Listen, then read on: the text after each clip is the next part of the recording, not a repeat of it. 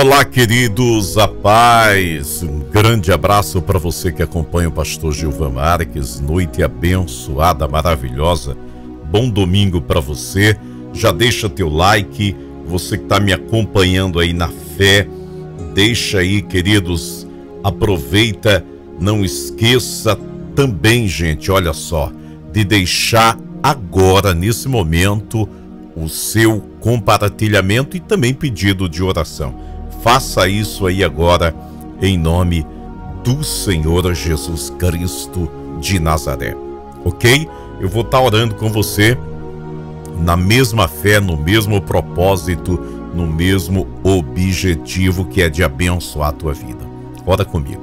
Meu Deus, Pai querido, amado, vem nos proteger e nos guardar nessa noite abençoada, meu Pai. Essa semana que começa, ó Deus, hoje, que seja de bênção, de vitória e, acima de tudo, Senhor, que tu possas nos guiar, nos proteger e guardar. Nos livre, meu Pai, dos homens maus, da inveja, nos livre, meu Deus, da calúnia e da difamação.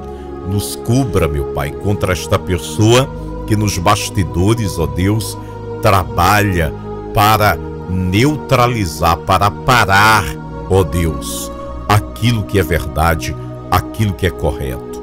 Meu Deus querido, vai nos blindando agora, nossa casa, nossa família, nos dando uma noite abençoada de descanso, porque amanhã, meu Deus, volta tudo ao normal. Lutas e batalhas, o corre-corre do dia a dia, pelo pão de cada dia para a família. Deus querido, eu te peço tudo isso no nome que é sobre todo nome, no nome de Jesus. Amém. Obrigado você que esteve com o pastor Gilvan. Deus abençoe poderosamente tua vida. Nos encontraremos logo mais às 22 horas no grande encerramento da nossa campanha Mais que Vencedores.